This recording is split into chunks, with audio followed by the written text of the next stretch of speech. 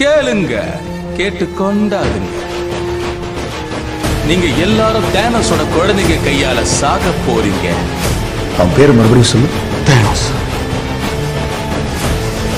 அதோட அழிவை நோக்கி போகும்போது நான் ஒரு தீர்வை சொன்னேன். படுகொலை குத்துமதிப்பு விருப்பு வெறுப்பு ஏழை பணக்காரங்க பார்க்காம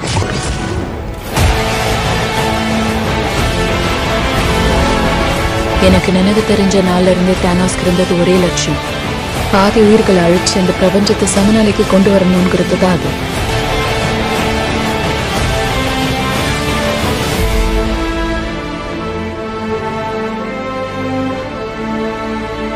நினைச்சது முடிச்சிட்டீங்களா?